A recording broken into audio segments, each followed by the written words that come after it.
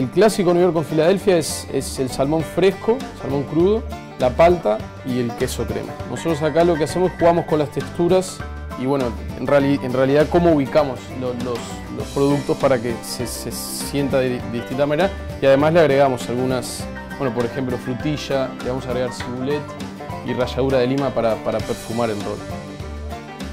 El sushi origina de la China, surge como un método de conservación para, para, conservar el pescado, lo envolvían en el arroz avinagrado, entonces, este, bueno, por el fermento y el azúcar, etcétera, lograban darle un poco más de vida útil al, pescado.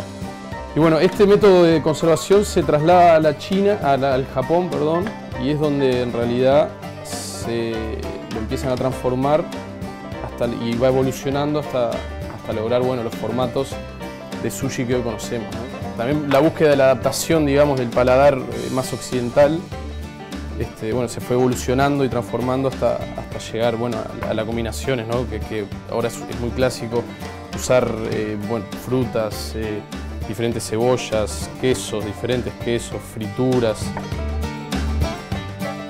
Y lo principal es el arroz, el, punto del arroz. Es un, es un grano particular y delicado.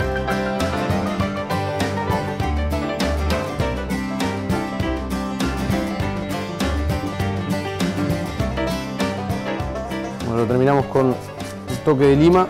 Esto va a perfumar mucho, le va a dar frescura al rol.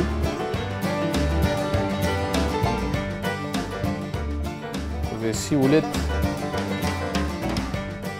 Vamos a terminar con una miel de lima. Le va a aportar un dulce y también un poco de.